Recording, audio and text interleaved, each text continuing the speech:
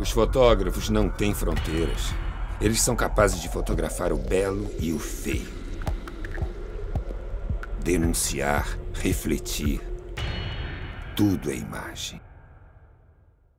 Toda fotografia, essencialmente, ela é documental, mesmo que ela não foi feita com a proposta de registro de longa data, né, registro para o futuro. Ela acaba sendo uma referência é, física, cultural, intelectual, de tudo que a gente vive, né? E eu percebi o poder que a fotografia tinha na formação de uma ideia, né?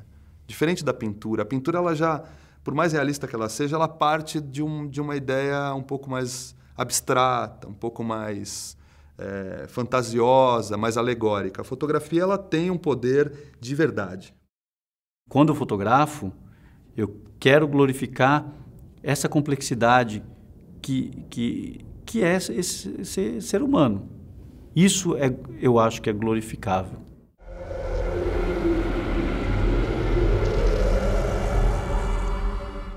Se alguém da equipe chegar aqui e tirar uma foto minha e daqui a 20 anos mostrar, olha aqui, aquele dia que você estava fazendo, sentado lá conversando com o Silvio, eu digo, não, eu estou sentado conversando com ele. Eu nunca mais vou deixar de estar aqui. Isso é a imortalidade da fotografia. É, eu tenho que observar muito, eu quero estar dentro, né? eu acho que eu tenho que buscar aquilo. Né? Eu acho que é, é essa busca da imagem, essa busca da linguagem, porque a gente rouba a alma mesmo, não tem jeito. A gente caça a alma das pessoas, não tem jeito.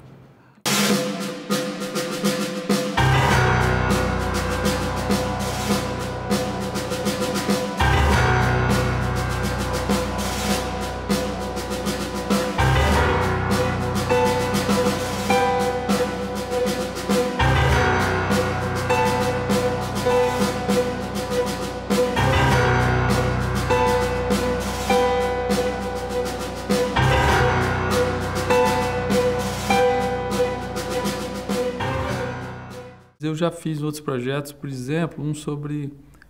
chama-se Brasil Sem Fronteiras, por exemplo.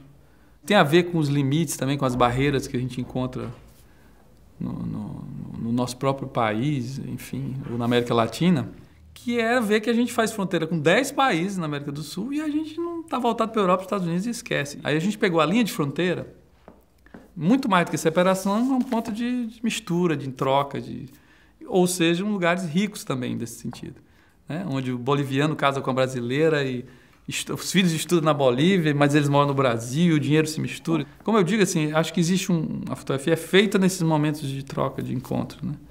O que me levou a Cuba, na verdade, foi justamente é, como, que lugar é esse que ainda existe, né? E que consegue ser tão é, que consegue lutar contra toda contra toda essa essa hegemonia capitalista, né? E, e e agressiva. Um lugar muito difícil de entender, assim, muito difícil de entender. Cuba é um mistério até hoje. Eu fui, eu fiz esse livro, mas continua sendo um mistério. Mas um mistério muito poético, né? Existia naquela época, não sei se ainda existe, uma disponibilidade das pessoas para serem fotografadas que eu não sei se existe igual no mundo em algum outro lugar, sabe? Assim, as pessoas muito afetuosas. É como se você tivesse é, conectado com o presente de, de tal maneira que você está. É, tudo está em você e você está em tudo, sabe? Tudo, o cheiro, o som, o, o ritmo das coisas, está tudo, tá tudo ali. E aí tem a história do Che Guevara também, que é, junto com Jimi Hendrix, Janis Joplin, John Lennon, Che Guevara estava nessa nesse patamar aí de, de, de ícone, né, de revolucionário. Na realidade, assim, a cidade onde ele onde ele foi executado, é, é La Higuera, chamava-se La Higuera, hoje é San Ernesto de La Higuera. Ele já foi santificado na realidade na Bolívia. Né?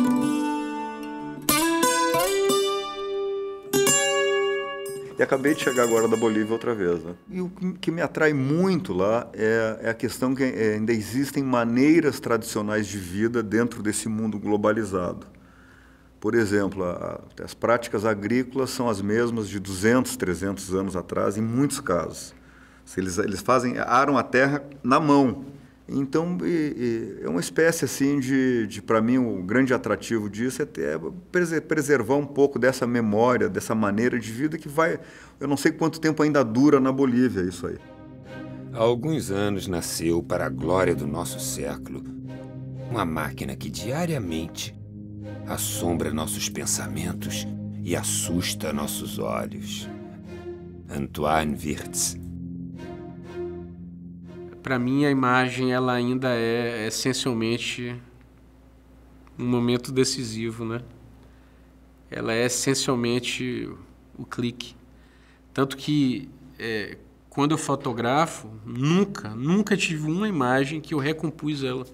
Para mim, a foto ela sela no momento do clique, no momento que você aperta o obturador da máquina, aquele momento que só aquilo existe, entendeu? Só aquilo aconteceu e jamais vai se repetir. O que você vê na minha foto é o que eu estava vendo ali. Fotografo São Paulo, primeiro, que é uma cidade que eu amo, que eu adoro e que eu me desespero com ela. Então, tem várias coisas interessantes da mudança da cidade e tal. Uh, essa tentativa pode-se até dizer que já deu resultado, de transformar em São Paulo numa arte na rua, né, com todos esses grafites maravilhosos e tal. Eu acho que é uma transformação na cidade e tal. Eu tinha um grande incômodo com a fotografia, né? Ao mesmo tempo que tinha uma, um fascínio, uma paixão, eu tinha um incômodo que era exatamente no uso da fotografia manipulando o jornalismo, né? manipulando a informação, é, na publicidade fortemente para te convencer a comprar. E o projeto Metabiótico questiona, ele provoca, perturba exatamente essa, ver, essa veracidade da fotografia. Né? Essa ideia de que o que está ali existiu. O que se vê no Metabiótica existiu. É uma parede, uma pintura e uma pessoa que passa. Ela constrói uma, uma realidade que é o clique, que é aquele momento. Eu vi milhões de pessoas falando: não, isso é Photoshop. Já me perguntaram, inclusive, por que é que você por que, é que você tem um trabalho tão grande para fazer uma, uma imagem que parece montagem? Isso é fascinante, era exatamente a ideia. Quando você faz uma fotografia, o que, que acontece? Ela penetra no tempo. E quando ela penetra no tempo, ela para aquele tempo que ela penetrou. Essa imagem é sem nunca ter sido. Ela nunca nunca existiu. Ela passa a existir muito rapidamente. Ocorre que do momento que ela se torna real, e como ela foi inserida no tempo e no espaço, ela é presente, ela é passado e ela é futuro ao mesmo tempo. Eu acho que essa a força e a magia dessa imagem única, elas, ela, elas se mantêm. Elas não não tem prazo de validade. É a mesma coisa, eu faço uma analogia com a literatura, quer dizer, o, fenômeno dos blogs, ele não, não altera o, o, o valor literário de quem se dedica ao ofício do, da, da literatura. A minha ideia de fotografar é basicamente foi de contar histórias, porque eu acredito que é, são essas histórias é que formam o caldo cultural das pessoas. Me atraiu muito né, o meio ambiente, né, com, né, com as, as, grandes coisas que aconteceram na Amazônia na década de 80 e 90. É de um resgate, de um, de um momento que a gente não, não, não foi passado é, historicamente para a gente é, a nossa história de uma forma bacana. Né? Hoje, sobre essa questão dos arquétipos, tem muita coisa muito, muito profunda, né? que pega os orixás, pega muitas coisas que eu estou é, é, me alimentando para começar a retratar. É a raiz, é a terra, é, é, é, como dizem os africanos, é a tata, é a terra, é, é, é a mãe, entendeu? É a busca desse espaço físico que foi nosso e que é nosso e passar adiante, né? Lógico, a imagem, o que seja a questão da sonoridade, desse resgate de imagens.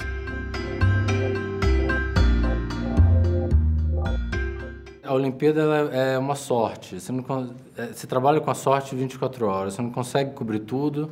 São muitos fotógrafos trabalhando ao mesmo tempo. O bacana da cobertura é você fazer diferente, é tentar investir no seu próprio olhar, tentar é, captar o que as pessoas não estão enxergando naquele momento. Eu acho que todo esporte tem a, tem a sua particularidade, né? A corrida de 100 metros é uma aposta, né? Você tem ali os 7, 8 melhores do mundo, uma variação de tempo é, minúscula ali, um para outro, segundos, e você precisa apostar num cara. Essa aposta, quando dá certo, é ótimo. Você tem a imagem perfeita, você tem o cara atravessando uma linha de chegada. Quando não, você tem que recuperar isso de alguma forma.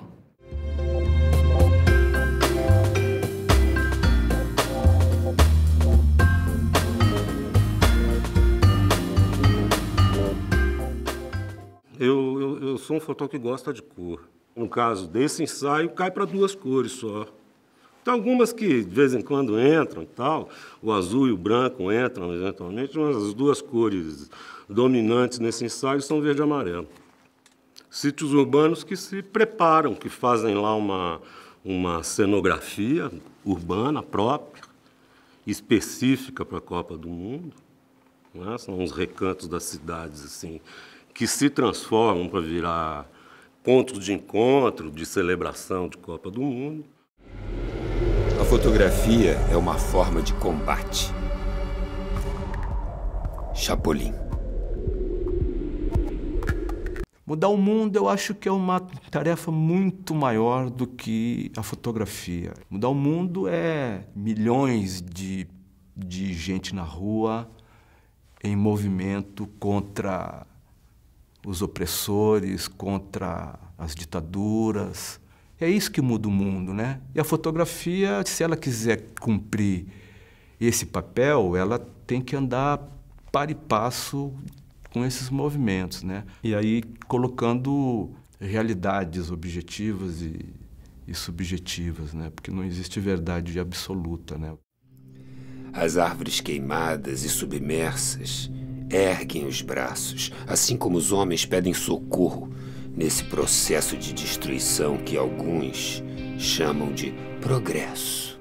É um trabalho que eu comecei a fazer só com árvores mortas. Elas estão dentro de um lago. Será que esse cemitério de árvores mortas e de gente e de tudo vai continuar? A gente está vivendo num momento desse planeta que ou a gente toma uma providência ou então a gente desiste né, para sempre. Então eu acho que agora que a gente enxerga isso, é necessário que a gente minimamente busque formas de se pensar outras alternativas. E eu estou fotografando as árvores porque elas me emocionaram. Mais do que qualquer fala. Mais do que qualquer história.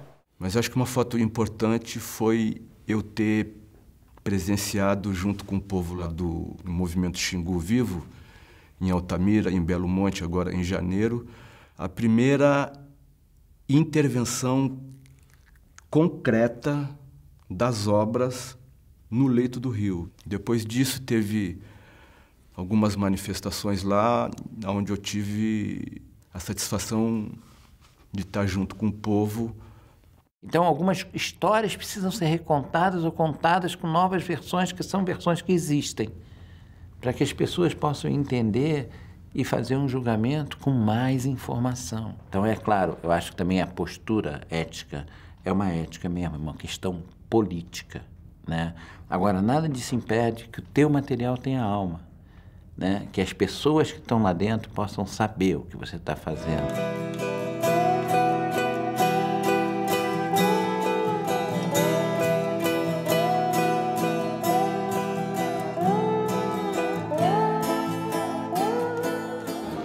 Pensar que a imagem também é uma forma de combate. A gente começou a gravar várias situações do movimento sem teto, de conflito de polícia com o povo. A propriedade deve servir aos interesses sociais.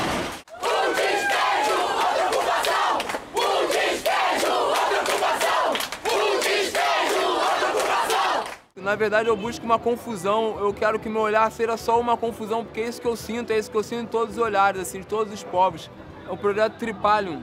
Foi uma experiência de explicar através da imagem qual é a minha concepção do trabalho. Uma das partes seriam os trabalhadores da construção civil, que se misturam entre uniformes e máquinas. Aí passei para uma segunda parte, que era os trabalhadores informais, que nem gostam de ser chamados de trabalhadores, ao contrário, reconhecem o trabalho como tripalho, um instrumento de tortura escravo. Fotografei malabaristas no sinal e por último, fotografei uma, a, a classe que trabalha com a caneta assinando para representar a classe mais opressora dos trabalhadores, que são os patrões também trabalhadores, né? A fotografia política hoje, ela... Eu acho que no, o inimigo não é identificado. Entende? Você não. A fotografia. Antigamente, não. Era tudo. Era um, você era, era em, em, cercado por um universo de bandidos, né? Os perigos da nação, os opressores reais da nação, eles estão muito, muito cobertos por uma névoa, assim, que não permite uma identificação clara, nenhuma ação em cima desses caras. Então a fotografia não se coloca da, forma que se colocou naquela época. Eu acredito que o que há é uma mudança de paradigma para um paradigma mais flexível. Eu não sabia nem como chamar isso, de um, né, de um terreno mais movediço, onde as verdades absolutas, essas sim estão em decadência. Disse que se fala que a fotografia pode ajudar a transformar uma realidade injusta, de uma guerra, de uma situação de pobreza, de penúria. A fotografia não tem mudado o mundo, tem mudado a percepção de mundo de algumas pessoas. Eu senti ódio dos soldados de Gaddafi. Cada criança que morria, eu sentia ódio de cada um deles. Você está no meio disso tudo e falar quem sou eu agora falar como eu saio disso, como eu me movimento dentro disso, é muito difícil. A única coisa que eu acho que isso contribui é para que eu possa, talvez, de alguma forma, ser um melhor interlocutor dentro desse conflito. Para que esse conflito, de alguma forma, se, se solucione. O filme e a fotografia, para mim, só tem uma importância. Se eles, se um deles, ou se os dois, podem contar a história que eu estou vendo ali na frente. O primeiro fotógrafo aí lá em 1980.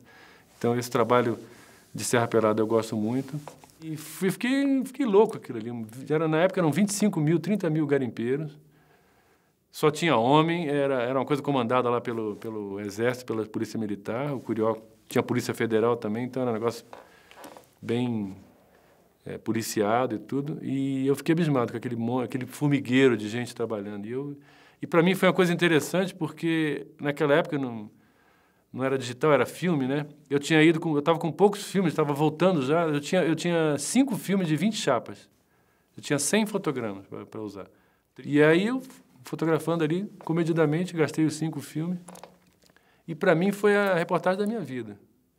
O legal de uma outra matéria que a gente fez foi sobre a, o, contando a história do Josué de Castro, pegando como personagem depois de quatro décadas, catador de caranguejo.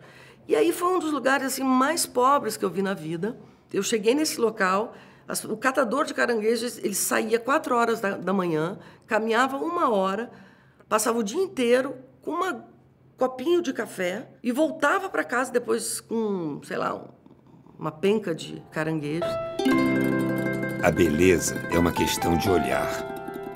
Os mesmos fotógrafos que denunciam injustiças e desigualdades são capazes de clicar ternura e afeto.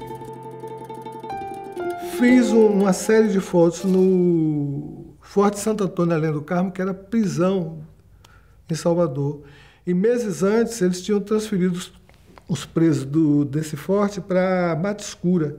E ficou lá a memória de cada cela daquela, a alma de cada, daquelas pessoas estavam ali. E depois eu quis fazer um contraponto. Eu fui para a Ponta de Corumbau, fica ao sul de Porto Seguro, onde as pessoas vivem livremente, onde você encontrava o negro, o índio, o mulato, essa variedade eh, de pele numa pequena comunidade. E onde as pessoas viviam de pesca ou da agricultura. Um dos exercícios que eu faço é se fotografe ou se represente e fotografe uma pessoa que você quer muito bem, treinando os limites entre não censurar e não caricaturar. Né? De forma que você sinta a mesma liberdade que você sente quando vai fotografar. Isso vai permitir a gente aprender a ver a beleza, vai aprender a fazer a gente aprender a respeitar. É muito mais importante, já dizia Bresson, são as pessoas.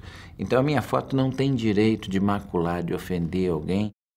Uma coisa interessante desse trabalho foi que eu peguei justamente essa, junto com, a, com essa luta pela terra, também essa mudança da, de, de, de, comunidades isoladas por décadas, começando a se integrar ao mundo moderno, chegando à eletricidade. Por exemplo, tem uma foto no Rio das Rãs, na Bahia, que é o primeiro dia com energia elétrica. O povo todo junto para assistir um, um, um filme, foi uma coisa emocionante mesmo. Assim. O, o, pintor parte do, do, do, do, zero e e faz a, a, sua pintura. Né? A fotografia você tem que partir do caos e tentar limpar para ter alguma coisa. E a energia que eu estou te falando, tanto é do cara que faz o gol, como é do cara que está morrendo, como é de um pedaço de uma folha que bate um sol numa hora poderosa e que daí você tem uma beleza. Sempre me disseram muitas fotos minhas de situações críticas, situações de dor. A princípio ela tem uma beleza. Como você explica isso?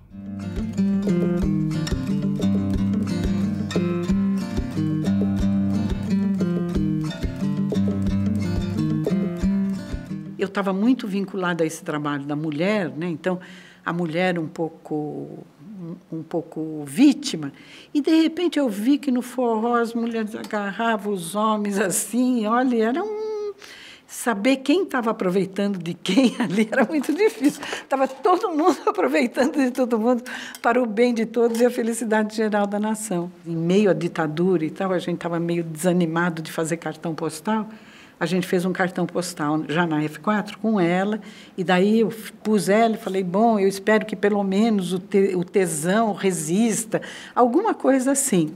E daí uma das secretárias se trancou e falou, enquanto não tirar essa foto de lá, não saio do banheiro.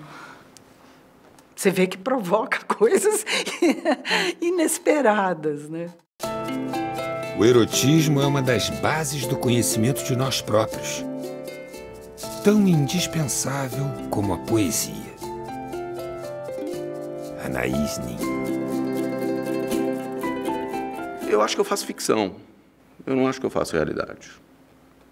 Eu não, eu não sou fotógrafo realista, sou um ficcionista. Eu acho que tudo meu é uma história que eu estou contando. Assim, as Playboys, elas vinham sendo feitas de uma forma... A mulher pelada, escancarada lá, o masturbador de plantão quer ver aquela mulher. Pergunta para qualquer masturbador de plantão se ele gosta das minhas fotos. Nenhum gosta. Acho horrível.